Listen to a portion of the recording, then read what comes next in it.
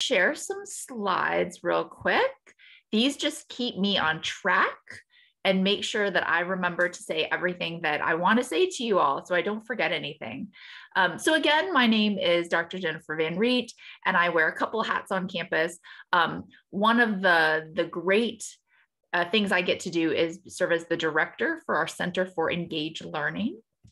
And in this capacity, I get to support a lot of interesting work that uh, our PC students are doing no matter what their major. So this is a college-wide center. And so we um, are interested in helping students who are bio majors or fine art majors or education majors or economics majors, no matter what you're interested in, um, to do something really interesting and engaging with, with what you're learning. So I'm gonna give you a couple of, of examples of the types of things that we support just to help illustrate the wide variety of opportunities there are at Providence College. But if you have, at any time, if you have uh, questions or thoughts pop into your mind, then, you know, feel free to add them uh, in the Q&A and I'd be happy to talk more about any of these things. All right, so um, I'm gonna run through a few different initiatives that we have. All right, hold on, there we go, share. Um, the first thing that we'll do that's probably a little bit more relevant to where you are in the process right now is that where we help ease the transition from high school to college and make sure that students arrive at PC. And in that first semester, you're already developing a foundation for thinking about how to be engaged in your learning, active in your learning, to make sure that you're setting off on the right path. And one example, right, of how we do that is we're involved in a relatively new course here at Providence College. I say relatively new because we're we're past the five year mark. So um, it's been around for a few years now, but it's called Introduction to Providence College. And this is a one credit course that helps students in their very first semester just build some foundational academic skills and build some foundational relationships to make sure, right, that you're primed for success at PC. And this taught this course, what is really interesting about it is taught by your academic advisor, who is a faculty or staff person at Providence College. And so that means you're checking in with your academic advisor once per week in your first semester, and you're getting to know them and they're getting to know you. And that means that um, your academic advisor can really help you from day one, right? Catch small problems before they become big problems, help direct you to certain opportunities or offices on campus that may match your interests. Um, so it's been a really positive experience. I won't read these to you, right? But there's a couple of quotes up here from previous intro to PC students and just showing, right, how it really helps that first semester. Here is just a couple of examples about the project students do in Intro to PC. You know, one of the things they do is they build an e-portfolio throughout the semester where they're actually documenting their first semester of college and they're allowed to kind of do whatever they want with their e-portfolio. And so I just put up a couple of screenshots here about the various different types of things students do and you can really see that your personality is allowed to shine through and you're really allowed to show like who you are so it's a it's a wonderful project and wonderful class. All right, so that was number one. Number two, uh, we help faculty and staff across campus, again, no matter what your major, do some really some extra engaging things in the classroom if opportunities pop up. So these things are things that go maybe a little bit above and beyond. So I'll give you a couple examples. Uh, this happened recently where some of our chemistry students in Organic Chemistry 1 took a trip to a local distiller. And so, what they were able to do is they were able to see how some of the practical skills, right, they're learning in organic chemistry lab get used in industry. And so, here are a couple pictures from their field trip, right? And so, as you can see from these quotes, right, this field trip showed a different perspective on the distillation process. So, this is really taking the skills that you're learning in the classroom and in the laboratory on campus and seeing how they're actually useful in real life. So that's one example. Another example, so we have this class, Asian art through virtual reality games. So we helped the professor who teaches this class buy some virtual reality equipment So you're learning art history right through this technology of virtual reality. It's been a very popular and super interesting class for students. Here's another example. Um, so we have a development of Western civilization colloquium. That's the class you take as a second semester sophomore. Uh, we have one that gets top, taught on the theme of apocalypse, and it's been very popular recently. Uh, team taught by our doctors Morgan and Strader.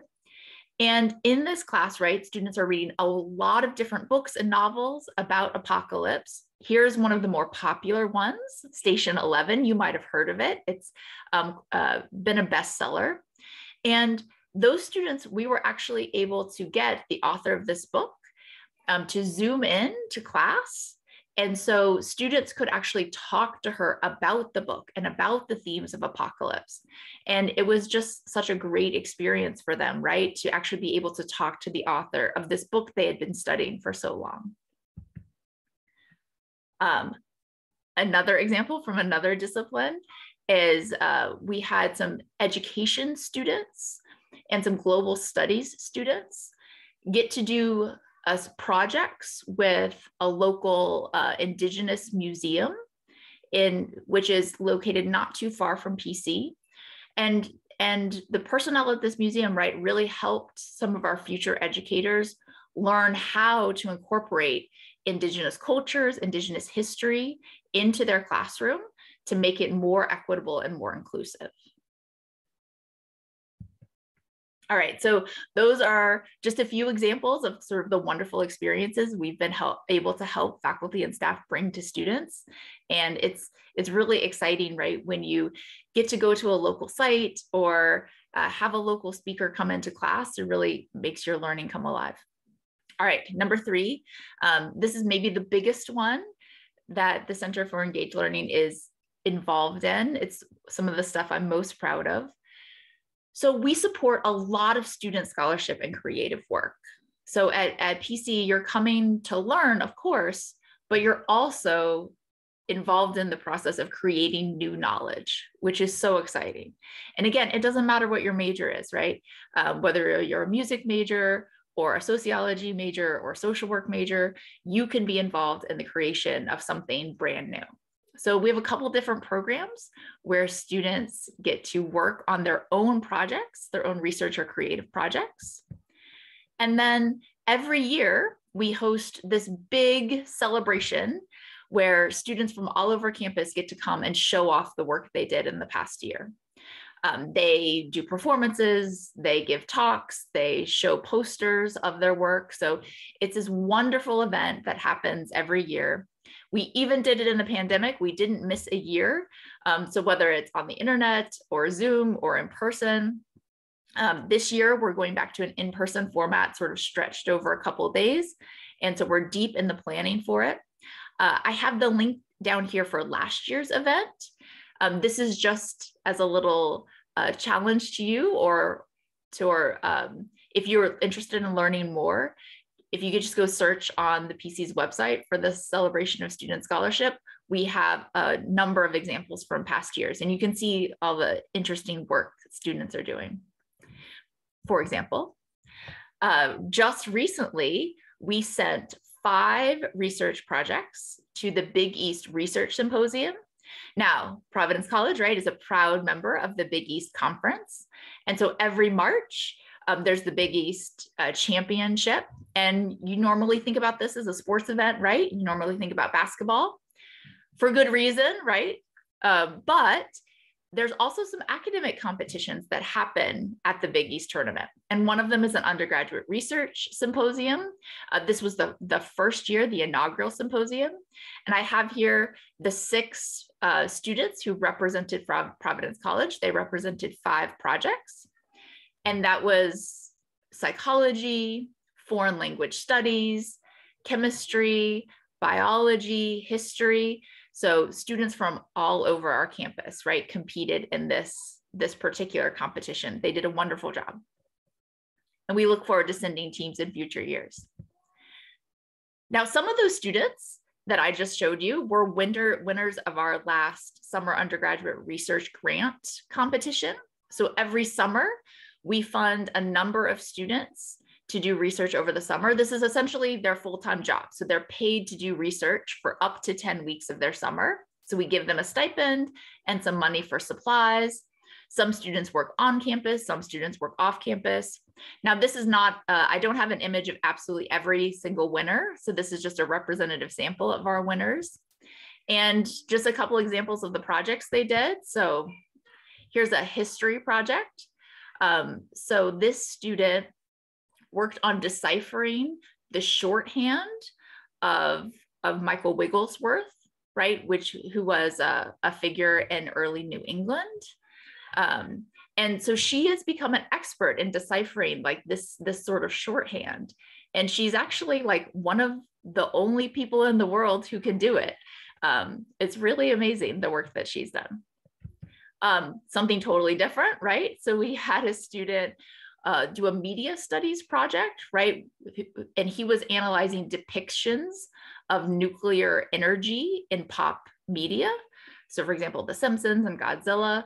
And so he spent a summer, you know, watching movies and playing video games, but um, that was part of his research, right? So he wrote this wonderful paper um, looking at looking at how those depictions, right, reflect something about our popular culture. All right. Uh, now you might say, like, oh my gosh, how do I ever get to a place where I can do something like that? Well, you know, we have we have programs for first and second year students, right? Too, so sort of scaffold you and help you build the skills to get to a place where you might be able to do your own project. Uh, one of those examples is we have a research work study program where we connect first and second year students who uh, need an on-campus job with faculty who are looking for research assistants. And by working for a few hours a week for a faculty member as a research assistant, right, not only are you learning research skills, which is great, but you are forming a relationship with other faculty members as well, which is really helpful. All right, that's a lot. I know I only have one more, I promise. So our fourth initiative, um, and this is sort of at the sort of tail end of your time here at PC. We also help students apply for nationally competitive fellowships and scholarships after graduation, so postgraduate fellowships. And so let me give you a couple examples of that as well. A lot of our students who are looking for a postgraduate fellowship apply to the Fulbright program. Um, the Fulbright program is a department out of the US Department of State and students go abroad after graduation and serve as sort of a cultural ambassador in a large variety of countries across the world. Uh, they do a large variety of things. So some students work as teachers, um, some students work as researchers, some students actually go to graduate school as part of a, a Fulbright scholarship. Um, we have been very successful in recent years in getting uh, the students who apply for our, these Fulbright fellowships for them actually winning. They're highly competitive. So as you can see that we've been named by the Fulbright program as a top producer a couple years in a row. We haven't heard the results of this year yet. Those, those results are starting to trickle out right now. Um, but I can tell you for this year, we have a record, record number of semifinalists. So we are very hopeful that we will have a number of winners again this year. Here are a couple of examples of the types of countries our students have gone to in recent years. You can see all around the world. In addition, um, we help students apply for a fellowship called Humanity in Action. In the past two years, we have had a winner from Providence College. In the middle there, that's our most recent winner, Alicia Terrero, who is wonderful. And lastly, um, the Goldwater Scholarship, which is a very competitive uh, scholarship for mathematics, natural sciences, and engineering. We've had two recent winners, which um, is very, very exciting coming out of our, our really top-notch STEM programs. All right, that's where I'll end. I know I just uh, gave you a ton of information. If you want to follow up with me later at any time or anybody watching this recording, you have questions, there's my email address. Uh, don't hesitate to reach out. All right, let me pause Let me make sure there are no questions. Um, if you think of something later, don't feel free, don't, don't hesitate to ask. Um, but I will pause for a second and I'm going to turn it over to our Dean of the School of Arts and Sciences, uh, Dean Sheila Adamus Liotta, and she can tell you more about our new chapter of Phi Beta Kappa. Oh, let me stop sharing. Oh, no. Oh, no, you're going to share mine, right? Yes. Thank right. you so much. Oh, I appreciate that. Hello, everyone. Uh, I'll just echo what uh, Dr. Van Reet just said and remind you if questions occur to you as you're going along, please don't hesitate to even just pop them in the Q&A uh, feature and we can answer some at the end as well, because I know sometimes it, you feel a little you know, funny asking a question in the middle, but don't hesitate. We're happy to answer anything that you would like. So yes, as Dr. Van Reet said, I am here to speak to you tonight about our new chapter of Phi Beta Kappa. And to explain what that's about very briefly, I am the Dean of the School of Arts and Sciences at Providence College. I'm actually a chemist by training, so I was quite fascinated by some of the examples like the organic chem lab uh, going off to the brewery, the distillery. I thought that was really, really interesting um, that Dr. Van Reet just presented you. But what it means that I'm the Dean of the School of Arts and Sciences, it, it means that I, I oversee the academic departments in the natural sciences and the social sciences and the fine arts and the humanities. So quite a few. You might say, well, what's not there? School of Business is separate and School of Professional Studies, which includes education, social work, and health policy management. So if it's not a business discipline or one of those disciplines, it's in the School of Arts and Sciences. And we're really, really proud that everyone at Providence College, no matter what your major is, studies quite a bit in the School of Arts and Sciences. Dr. Van Reet mentioned our uh, Development of Western Civ colloquium class, for example, that all of our students take on different topics, but everyone takes one. So we think that's a really important part of, our, of your education if you are a Providence College student. And we're really, really thrilled that we now have the recognition of a Phi Beta Kappa chapter at Providence College because what that means is that an external group, Phi Beta Kappa, which I'll tell you more about in a second, has deemed us as excellent uh, providers and that we have an excellent commitment to education in the arts and sciences fields. So um, if I may have my next slide. Thank you. I'm going to tell you a little bit about what is Phi Beta Kappa in case you've never heard of it. Back um, in the mid 20th century, sort of everyone sort of knew a lot more about Phi Beta Kappa, but because as higher education has changed and evolved, there are a lot more honor societies. But what Phi Beta Kappa essentially is, is an honor society. So it's an opportunity for students to be recognized. It is the nation's most prestigious academic honor society. It was founded in 1776, so you know a long time ago, on at least in the United States standards. Uh, it was founded um, in December of 76, I believe, at the College of William and Mary. And what this honor society recognizes, because we all know there's honor societies for all kinds of things, uh, this one recognizes achievements in the liberal arts, which is a synonymous term for arts and sciences liberal in the sense not of you know the opposite of conservative but liberal in the sense of free. Liberal education actually goes way back to preparing um, greek citizens to be to be informed citizens. So if you study in the liberal arts or the arts and sciences you know you're learning broadly and yet to prepare yourself for the next step. Uh, and i would be happy to answer any questions about that but i want to stay now focused on phi beta kappa so this is a very prestigious honor society for students to be involved in, and it therefore is um, not that easy to get a chapter at your institution. Fewer, as I have here on, on my slide, fewer than 10% of United States colleges and universities are granted a chapter. It is a long and arduous application process to be granted a chapter. It literally takes about three years to go through the process. And we applied in the fall of 2018, and we were delighted that in the summer of 2021, after multiple reports and people coming to our campus and interviewing faculty and students and staff, everybody, you know, from our president on down to everybody else on campus, uh, we were awarded a chapter. And our chapter will be officially brought to life uh, in just a few weeks. We're very excited. April 26th, 2022. And that will be a big ceremony first for the Phi Beta Kappa national leadership to come on board and give us our chapter. So there'll be lots of ceremony, um, but also for our first students to be inducted into Phi Beta Kappa. And just in a moment, I'm going to tell you what it would mean to be inducted in Phi Beta Kappa. I've just put the um, the link here. I mean, it's easy enough. If you're interested, you can you can Google it, obviously, and you can look up Phi Beta Kappa, and you can see they have a list of every institution that has a chapter, and you'll see some pretty prestigious names. You know, we're very very proud to be on that list after a long time of not being on that list. So so it's an exciting development, and again, a recognition of the academic excellence across the board at Providence College. On the next slide, if I may have that, I'll tell you a little bit now. If you're like, okay, I'm a student, I would like to be in Phi Beta Kappa. How does that happen? Well, it turns out that you don't apply. Like many honor societies, you're elected or you're chosen. So how Phi Beta Kappa works is um, you'd be elected by the faculty and staff members. In fact, Amy Simbor, who introduced uh, this session just a few minutes ago from our admission office, is one of the very active members of our PC chapter to be. In fact, she's the she's the secretary, which basically means she's in charge of making sure all the students who are invited know that they are invited, among many other very important functions. But that's a very big one.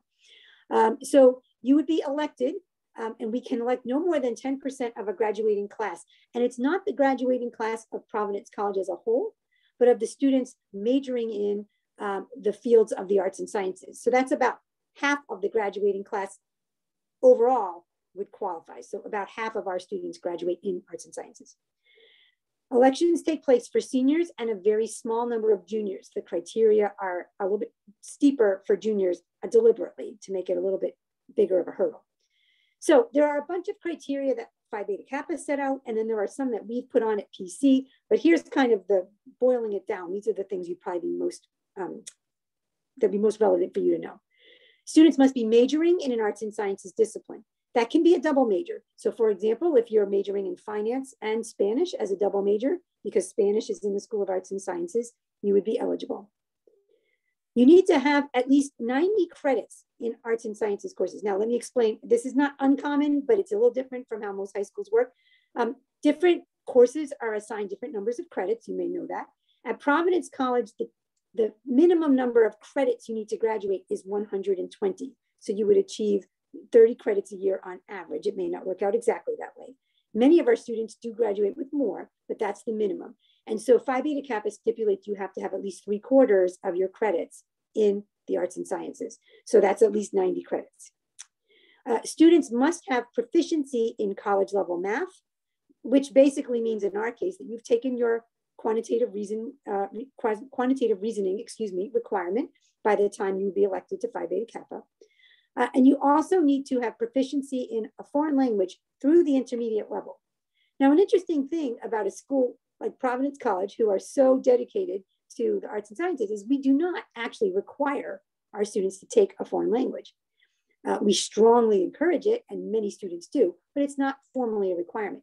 So, um, in order to qualify for Phi Beta Kappa, though, you would need to have achieved that proficiency through the intermediate level, which if you started at you know, Spanish 101 or French 101 would mean four semesters. If you test in on our placement test, which we ask all of our incoming uh, first year students to take, and you you place higher, then you just have to get to that fourth semester level. Some students place beyond that level, in which case you would meet the requirement. But we also really hope that students will take foreign language at Providence College um, and maybe a language you didn't have the opportunity to take in high school, like Arabic or Mandarin Chinese, although some of you may have obviously taken those too. A lot of high schools don't have that. So you would need that requirement, um, and you need to be of good moral character. Notice what I don't have on here is a certain GPA, and that's on purpose. Phi Beta Kappa does not stipulate a particular GPA. We have identified one um, that may change over the years a little bit, uh, but it's, you know, it's a high GPA on a four point scale. It's well over, you know, well over a 3.5. Um, but I, I'm not sharing that right now because that's really not the most important thing. The most important thing is that you have this broad education where you've touched on a lot of different disciplines and you've excelled. Okay, so last slide for me, please. Um, is okay. Well, aside from it, you know, getting recognition, which is a lovely thing about being elected to an honor society, why is it important to you as a potential member of Phi Beta Kappa? Well, besides that recognition, uh, Phi Beta Kappa provides a few tangible things. And if you go on the website, you can find even more than these, but I thought I'd just pull out a few. Uh, one is for recent graduates, they have internship opportunities at their organization at Phi Beta Kappa. Um, and they are in most cases paid, not necessarily paid, you know, at a very, very high rate, but they're opportunities to get some great professional experience as well as, as receiving a salary uh, for recent graduates. Uh, they also have some networking opportunities. So there are alumni associations which are really more about um, continued academic engagement. So they provide, you know, book groups or lectures or things like that. So, you know, if you really enjoy your education and you're not quite ready to put it down, but you don't necessarily want to go on to more formal education, or even if you do, um, you can you can stay academically engaged and you could not do it for a while and then do it once you're 40 if you want to. You know, you're always a member of Phi Beta Kappa uh, for the rest of your life if you accept an invitation to join. Uh, and also there are more um, employment focused networking events. They have events they call key connections. And that's an opportunity for to mention. If you notice in the lower right corner of the slide, there's a little square thing. That is a Phi Beta Kappa key. It's, it's kind of the emblem and the insignia. And if you, if you are elected to Phi Beta Kappa, you get one of these little keys that has um, the Phi Beta Kappa symbol on the front and it has your kind of information on the back. So it's something, you know, you can, I some people wear it on a, a, business attire. I wear it on my academic robe when I wear it. Um, but that's important to know. It's also important to know that Providence College has committed to providing those keys for students as well as you know paying the um, the membership fees so that being a member of Phi Beta Kappa is not a financial burden for anybody. And uh, to be initiated again, you just need to be initiated once and then you're a member for life. So again, we are very excited to have Phi Beta Kappa at Providence College because not just because it provides a great opportunity for students, which it does, but also as a symbol of how we have, you know, met some standards for being, it's another way we can demonstrate our, our standards of academic excellence. Um, as, as Jennifer Van Reet said, as Dr. Van Reet said just a few minutes ago, you know, we're really excited when our athletic teams get recognition as well, and, and we support that and we cheer them on. And this is a way for us, you know, to cheer on the academic side of the house, in addition to some of the other opportunities through the Center for Engaged Learning. So with that, I will close my formal remarks. I think we can probably stop sharing the screen and we would be happy to take any questions that you might have for either of us, Dr. Venby or myself, or even I'm sure that Amy would be happy to chime in if there's something you ask about that neither of us are quite prepared to answer, maybe of a more general nature. So thank you for your attention. Thank you for being here today, or if you're watching this on a, you know, a subsequent recording, thank you for your interest in PC. We're really excited about the opportunities we can provide for you. We hope to see some of you, you know, maybe many of you on campus this, this fall, if not for events sooner than that. Thank you. That's great. Thank you both for, for spending time with us and for you know, outlining all of this uh, for the families. Um, one question that uh, we have actually is a question about um, any kind of minimum GPA or requirements that need to be in place for a student, um, Dr. Van Reet, before they get involved with the center. You know, is that something, for example, only involved with for honor students? Oh, that's a great question. Thank you for that question. Uh, no, we have no minimum GPA requirements for any of our programs. Um, that's including our research work study programs, our research grant programs, and those are some, we have academic year programs and summer programs. Um, we really believe that opportunities should be open to everybody. And actually, um, you know, one of the things that that we have found is that the for example, the best research assistants, if you're working for a faculty member or you're doing your own project, um, the best researchers are not necessarily the folks with the highest GPAs um, you know, there's a sort of a different set of skills sometimes that you need to be a really great researcher. And so the skills we look for are not, you know, what grades you got, but the skills we look for are um, what's your persistence? Um, what's your initiative? what are your you know problem solving skills so sometimes you hear some people call these as quote unquote like soft skills um, i don't really think they're quite soft but but some of these other skills really are better predictors of of your research prowess. Um, so we look for other indications like that. And really just if you're excited and interested about doing a project, hey, that's great. That's the number one thing we look for. Um, I think the one exception to that is, you know, the last thing I talked about was our postgraduate fellowships. For those, they're not necessarily GPA requirements, Um, but those are competitive applications, right, that go off to other entities um, and reviewed by other entities, for example, the Fulbright program or Humanities in Action. And for those applications, right, we do counsel students that you know you're probably more likely to be successful if you have a higher GPA. Um, that being said, right, there's no there's no cutoff and there's no minimums. Great, thank you. What else? What are other people thinking about?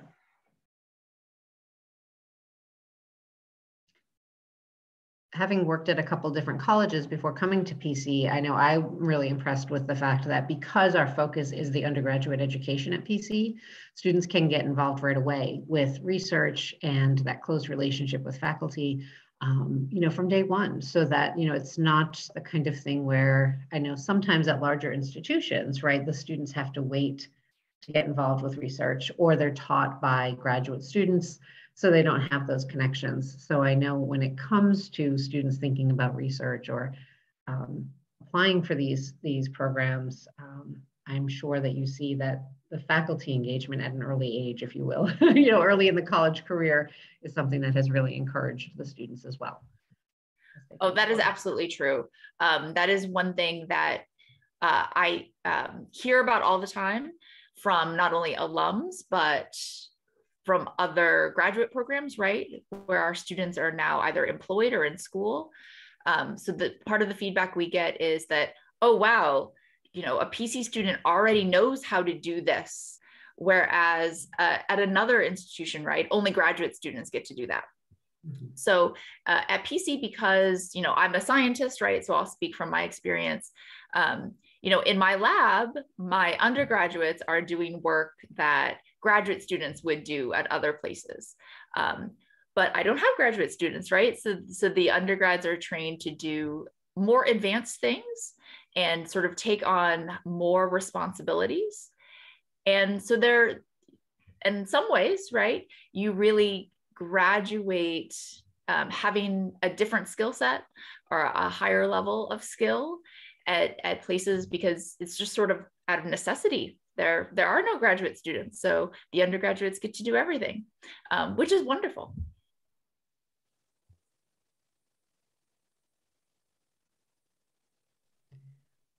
One other question might be how study abroad may prohibit students from getting involved with these things or even being considered for a Phi Beta Kappa or a um, Fulbright opportunity. Are those prohibitive? Are they encouraged? Do either of you want to speak about that a little bit? Well, I'll just say something quickly, uh, which is we really encourage study abroad for anyone who wants to do it. There are lots of different ways to do it, right? Because you can go for a whole semester or even a year, but you can also take a course that goes for a week. You can do a summer opportunity. You can do so many things. So, so first of all, if you want to, for example, do a summer of research and you're wondering how that maybe you can't quite schedule it. There's there's always a way if you want to go. But as far as whether it holds you up, absolutely not. Um, we we are very much about finding a way to, to make it work for students. You know, even in some, I'm also a science person, as I mentioned, I'm a chemist. And, and when I was doing a lot more teaching and had my own research students, I remember talking to students, you know, and they say, well, I'm a double major and I'm doing this, but I still want to study about, okay, all right, we're going to, we will find a way. Sometimes we even moved courses around and offered them a different semester so that the student could not miss a key course required in the major. Um, our major is relatively small, so we, we would do it that way. Others, you know, departments probably that's not necessary, but but we're really, um, and, and in many cases, and I, I would imagine um, for certain fellowships and things, the study abroad experience probably actually put you at an advantage in some ways, or at least is looked at very positively, because you it's not just what you see, but it's how you grow when you are abroad. You are as independent as you've ever been. Uh, you are as you know far from your your previous support systems in in the best way because you you everybody I've ever known who studied abroad, including my own two children, by the way, came back just having having grown and in confidence and in skills and in their ability to sort of find their way, not just literally, but to make decisions for themselves. So it's absolutely not a disadvantage. I would say it's an advantage. And I don't know, Dr. Van Reet, if you have anything you would like to add about that. Yeah, it's definitely advantage. Um, uh, some for some fellowship programs more than others, but you know, we definitely recommend that students who are interested in a type of Fulbright type experience um, study abroad if they can. It's not a requirement, of course, um, but it does show the Fulbright committees in the various countries, right, that you are um, familiar with what it means to live abroad and study abroad. And um, so that that does provide a bit of a leg up um, in that process. Again, it's not a requirement, right? There are other ways to demonstrate that's that sort of familiarity. Um, we also, for the same reason, really encourage students to take foreign language, um, even though, again, it's not required at Providence College, but that is looked very favorably by by fellowship committees, especially the Fulbright committee. Um, even if it's not the language of the country you're applying to go to, right? So even if you don't have fluency in that particular language, they do like to see that you have some sort of uh, language experience other than your native language. Um, and and so that's why you know it's so wonderful that we have things like Arabic and some some other languages here at Providence College so students can really expand their horizons and get a lot of familiarity with some um, very different languages some languages they might never have thought about before taking a class in um, so yeah it's and then the last thing I'll say is that so some students who maybe don't study abroad um, but have an idea for how to do a project abroad um, we have had examples in the past of students doing research projects that involved um, international travel to collect data. So we have funded a few of these. Um, obviously, they're not quite as common, but we had one summer where a student, um, she was a film student, and she was doing a research project that involved the Cannes Film Festival. So she took part of her summer and she actually traveled to the festival to collect some data. Um, we've had other students who are working on projects in Puerto Rico um, and and some other places, right, that are a little bit farther from from Providence. So there are ways, right, to be creative and to get international experiences beyond just maybe your traditional semester abroad.